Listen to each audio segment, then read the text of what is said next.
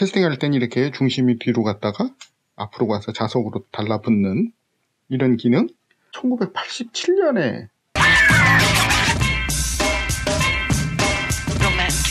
Shut up and sit down.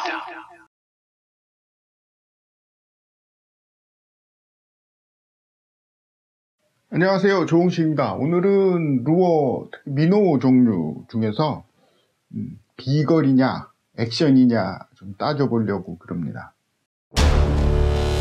여기 동일한 미노우 한 쌍이 있습니다. 어, 바늘도 3개고 생김생김도 비슷합니다. 같은 플라스틱 사출 루어예요. 요거는 미제고 요거는 일제입니다. 같은 플라스틱 사출인데 이게 달라요. 또 하나 보여드릴게요. 요것도 뭐 그렇습니다만은 플라스틱 사출 루어고요. 요건 wood 루어입니다. 아, 지금 보여드린 이 오른손에 들고 있는 들었던 루어들은 이건 wood고 지금 플라스틱이고 아까 보여드린 건 똑같은 플라스틱인데 이건 미제고 이건 일제고 뭐 일제, 미제 이건 어느 나라 제품 이건 관련이 없습니다. 요거 결정적인 차이는 이 오른손에 들었던 이 두 가지의 결정적인 차이는 이 안에 들어있는 납, weight가 고정식이에요. 요 왼손에 들었던 두 가지는 안에 이 weight가 중심 이동식이라는 거 아시잖아요. 이렇게 움직입니다. 그 차이가 있습니다. 이 두 가지 차이, 에, 중심이 고정되어 있는 것하고 중심이 이동되어 있는 거는 물속에서 액션이 좀 달라요. 예, 그거를 오늘은 중점적으로 얘기를 해주는데 그 전에 앞서서 일단 어, 이 wood 나무로 만든 루어와 플라스틱으로 만든 루어의 차이를 조금 알려드릴게요. 음, 역시 얘네들도 플라스틱 루어하고 wood 루어는 수중 액션이 조금 다릅니다. 부력이 달라서 그런 건데요. 부력은 안에 weight, 납이나 고정 쇠를 그 크기를 조절을 하면 부력은 똑같이 맞출 수 있겠죠. 그런데도 수중에서 부력이 똑같아도 움직이는 게 조금 달라요. wood는 속이 전부 균일하게 이렇게 부력이 다 있는 거고 플라스틱 루어는 속이 비어서 그 공기로 부력이 생기는 거잖아요. 그렇다 보니까 느끼지 못하실 수도 있는데 우드는 수중에서 액션이 아주 매끄럽다라고 끊임없이 잘 이렇게 유연하게 움직인다고 생각을 하시면 좋겠어요. 근데 플라스틱은 유연한 게 아니라 툭, 툭, 툭 이런다고 보시면 될 것 같아요. 돌발적으로 움직이고 또 좀 안 움직이다 또 돌발적으로 움직이고 이런다고 보시면 되겠습니다. 그 정도 차이가 있어요. 그 다음에 롤링을 한다. 롤링이 wood는 아주 예민하게 빨라요. 부력이 전체적으로 있으니까. 근데 플라스틱 루어는 겉은 부력이 없잖아요. 안에 공기만 있으니까. 이 그게 이제 좀 우드와는 다르게 느리다라고 생각을 하시면 될 것 같아요. 뭘 물론 아닌 것도 있습니다. 예외도 있습니다만. 그러니까 우드는 매끄럽게 움직인다. 그래서 액션이 매끄럽고 빠르고 예민하다. 플라스틱은 돌발적으로 움직인다. 그 다음에 결정적인 차이는 가격 차이가 크죠. 우드는 비싸요. 그리고 플라스틱 사출 루어는 wood보다는 당연히 제조 단가 싼데 비싸게 파는 것도 있죠. 메이커에 따라서. 그래서 아무래도 그래도 wood가 비싸기 때문에 사용하는 angler가 wood 루어, 비싼 루어는 사용이 소극적이 됩니다. 함부로 막 던질 수도 없고 여걸림 생길 것 같은 데에는 과감하게 못해요. 그러니까 조과가 떨어져요.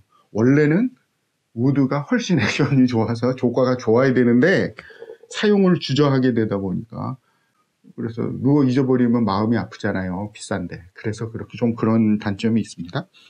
똑같은 우드루어하고 거의 똑같은 성격인데 이거는 이제 발포 우레탄 호음으로 만든 이건 속이 비어 있지 않습니다만 뜹니다.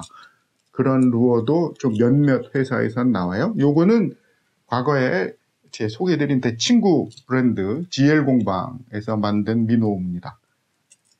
명품 minnow인데 이게 생산 양도 많지가 않고 개인 공방에서 만들다 보니까 좀 그렇죠. wood와 똑같은 성격을 갖고 있는 어, 합성수지 minnow입니다. 자, 근데 오늘은 이제 wood 얘기는 이제 그만하고 똑같이 속이 비어 있는 루어인데 이렇게 고정 중심이냐, 중심 이동이냐의 차이 얘기를 말씀드릴게요. 중심 이동식 루어를 처음 만든 건 아마도 일본의 태클하우스일 거요.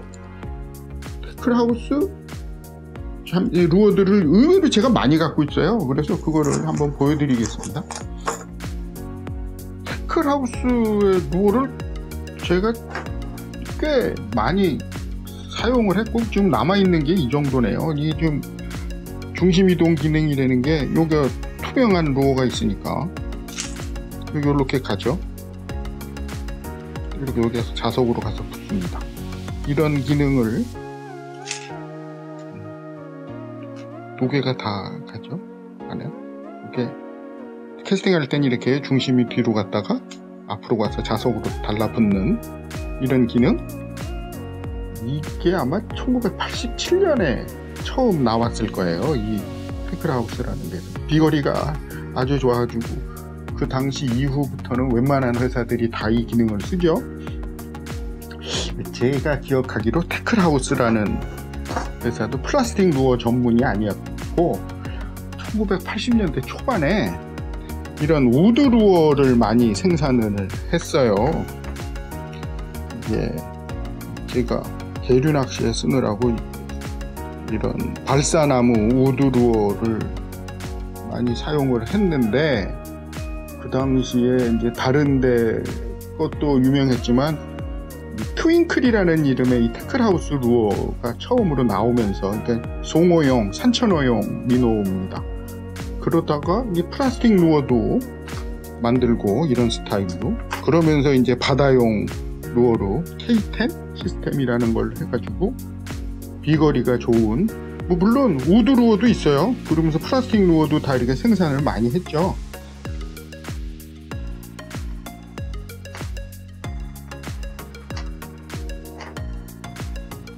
옛날 루어예요. 근데 아직까지 유명하잖아요. 그렇죠? Tackle House는. 아, 중심 이동식 루어와 고정식 루어의 차이, 극명한 차이는 아, 이게 말씀드린 대로 액션 차이인데요. 고정 중심이 액션이 빨리 되고 좋아요. 중심 이동식이 액션이 별로입니다. 쉽게 얘기해서 캐스팅을 하고 감을 때 평상시 reeling을 해도 고정 아, wood부터 하면 wood 루어는 아무리 느리게 감아도 아마 움직일 겁니다. 고정 중심 플라스틱 minnow는 그보다는 조금 빨리 감아야 움직일 거예요. 이제 중심 이동식 루어는 아주 빨리 움직이거나 적극적으로 액션을 줘야 움직일 거예요. 그런 차이들이 있다. 물론 아닌 것 예외도 얼마든지 있어요. 아주 잘 만든 회사 것들 뭐 특이한 회사 것들 있습니다만은 대충은 그래요. 베스 낚시, 농어 낚시, 뭐 무슨 낚시든 뭐, 뭐 무지개 송어 낚시라고 그러든 뭐 강에서 쏘가리를 잡든 일장일단들이 있어요. 어, 중심 이동, 고정 중심의 루어는 중심이 고정되어 있기 때문에 캐스팅할 때 날아갈 때 아무래도 공기 저항을 받게 되고 이렇게 돌게 되거나 그래가지고 비거리가 조금 떨어집니다. 근데 중심 이동 루어는 이 안에 중심이 뒤로 확 가버리잖아요. 캐스팅할 때딱 이렇게 되면 느껴지잖아요. 이렇게 탁. 그것 때문에 슉 멀리 날아가죠. 오, 그래서 이게 딜레마가 생기는 거예요. 물고기가 저 포인트가 저긴데 저기를 넘겨서 캐스팅을 해서 그 앞에서 멋지게 이렇게 액션을 주면 물 것 같아요. 그런데 우드 루어나 고정 중심 루어는 그 포인트를 넘겨서 던질 수가 없다. 비거리가 안 나온다. 중심 이동을 사용을 하면 그 포인트에 충분히 도달할 것 같다. 근데 이건 그 앞을 천천히 통과를 못 시켜요. 빨리 감을 수밖에 없다. 이제 어떤 루어를 사용할 것이냐. 이 거기서 이제 angler의 딜레마가 생깁니다. 비거리 우선이냐, 액션 우선이냐. 아, 그리고 또 한 가지 차이점이 있습니다. 우드루어는 착수 후에 물에 딱 대가지고 플로팅이든 싱킹이든 수평 자세를 유지하거나 전경 자세를 이렇게 유지하는 경우가 있어요. 액션을 딱 물속에 수- 들어가서 움직이다가 잠깐 액- 릴링을 스톱, 액션을 스톱하면 그대로 딱 멈춰 있- 있습니다. 그래서 떠오르거나 floating은 sinking은 가라앉거나 근데 그걸 떠오를 때도 가라앉을 때도 우드루어는 이렇게 삑삑삑삑삑 움직이죠. 그런데 중심 이동식 루어는 착수 후에 아직 웨이트가 뒤에 있기 때문에 이렇게 물속에 쓰- 이렇게 됩니다. floating이면 이렇게 떠 있고 이- sinking이면 이런 상태로 가라앉아요. 그때 탁 액션을 주기 시작을 하면 이, 이 lip에 의해서 몸이 돌아오면서 웨이트가 제자리를 찾으면 그때서야 이제 전경 자세가 되는 거죠. 그때까지의 한 1m 정도의 no action 구간이 생깁니다. 그거를 어떻게 극복할 것인가? 중심 이동식은 선 자세에서 전경 자세가 될 때까지 시간이 걸리고 포인트를 벗어날 수도 있는 그런 게 좀 감안을 해야 된다. 액션이 좋은 루어를 사용하면 안 액션 안 좋은 루어보다 당연히 잘 잡히겠죠. 근데 포인트에 캐스팅이 안 되면 의미가 없잖아요. 반대로 먼 포인트에 중심 이동 루어를 사용을 해서 포인트에 안착은 시켰는데 액션이 별로가 안 나와서 내가 낚고자 하는 그 물고기의 경계심만 높이는 꼴이 됐다. 자, 이제 이게 딜레마입니다. 어떤 걸 사용하실까요, 여러분이?